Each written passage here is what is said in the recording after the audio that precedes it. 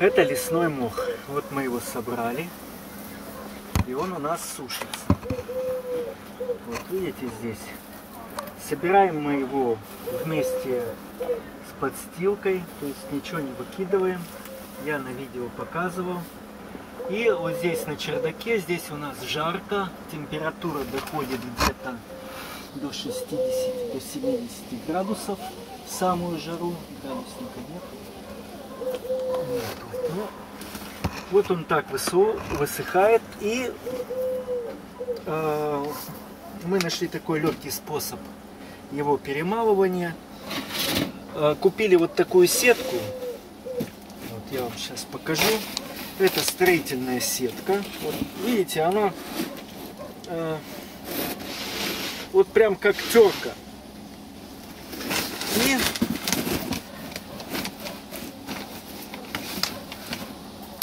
одеваем намордник.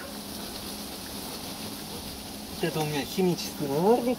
Ну, можно обычный респиратор, но этот э, лучше. И вот так вот берем и просто перетираем. И он туда вот все лишнее остается. Ну, обычно это делается в перчатках. Вот у нас вот там лежат перчатки. Чтобы руку не стереть, конечно, это нужно делать в перчатках. Палки выкидываем, шишки выкидываем. Ну, дальше я не буду показывать. Значит, сниму намордник. Вот так выглядит. Он перетертый. Видите, вот такой рыхлый. Тут и, и земля частично. Вот. И точно так же мы перетираем и сфагнум.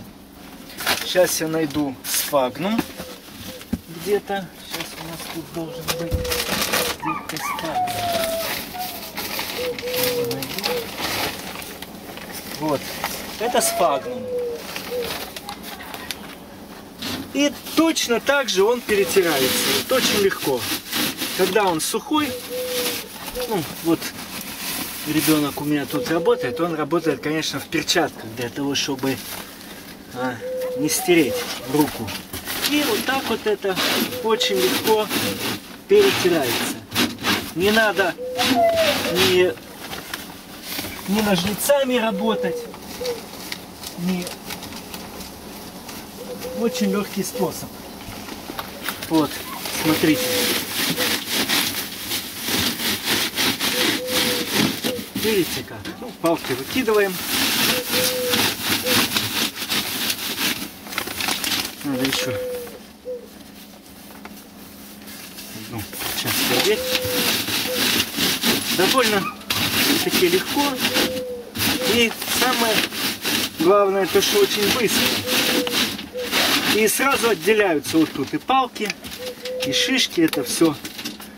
И все отделяется. Раньше мы терли через другую сетку. Я сейчас вам покажу, как, через какую мы раньше протирали. Мы раньше работали вот через такую сетку. Вот. Но, как оказалось, когда мы случайно увидели сетку вот такого плана, то все ускорилось, наверное, ну, раз в 5 минимум. То есть вот такая сетка, еще хочу показать, продается в строительных магазинах, там, где продают различную сетку. Я не знаю, для чего она вообще используется в строительстве, но вот она как, как терка. Ну, наверное, не нужна большая. Такая большая не нужна. Я думаю, вот такого размера вполне хватает. Вот, это мы ее купили. Вот тут метр. Мы купили где-то... Сколько мы ее купили? Сантиметров 80, наверное. Ну, наверное, можно было и намного меньше. Так.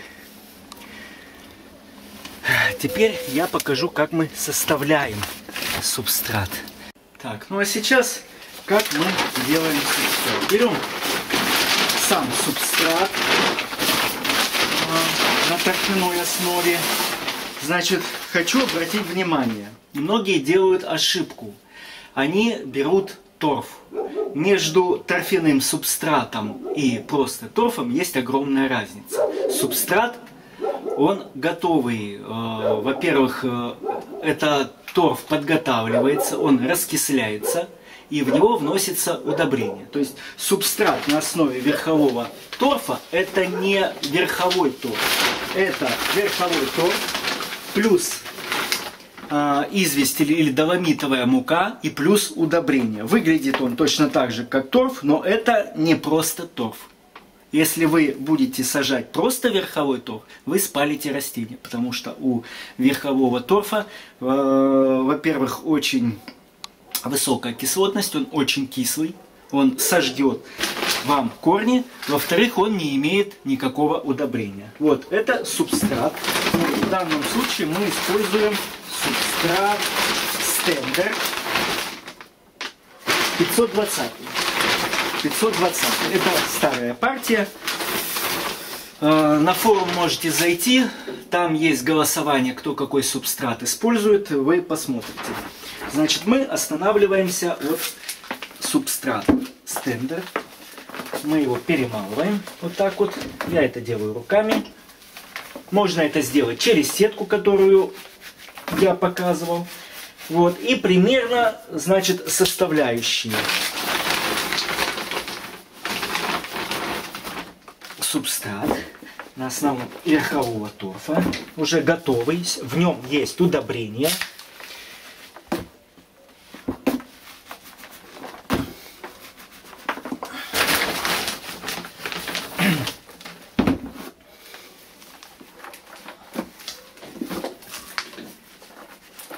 Значит, можно использовать субстраты с верхового рта, э, торфа с добавлением коричневого торфа, но не верхового.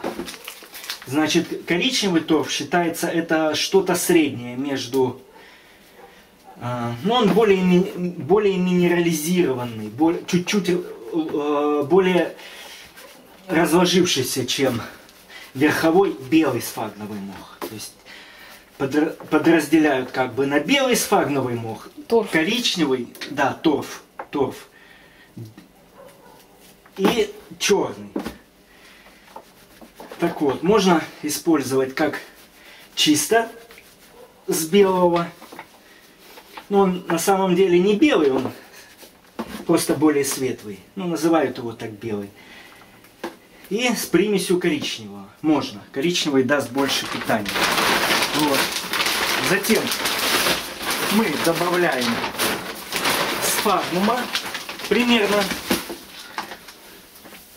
такую же часть. Вот. Видите? Это мы перетерли. Я показывал раньше.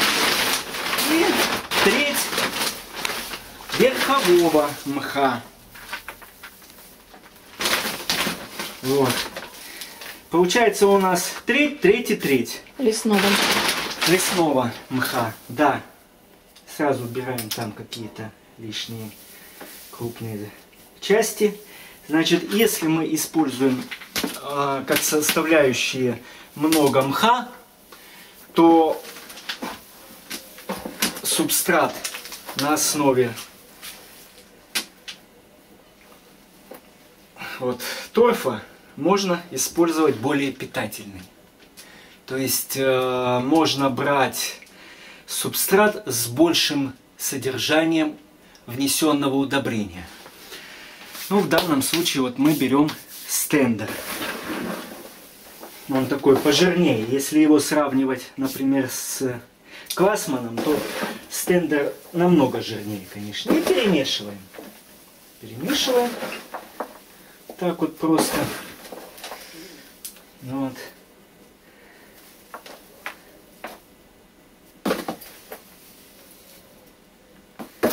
Выкидываем что-то лишнее, потому что попадается. Вот такой субстрат мы производим посадку. Вот, готовый. Затем уже перед тем, как сажать, вы его увлажняете и, и сажаете. Все. Увлажнить и также перетереть руками. То есть полить и перетереть руками.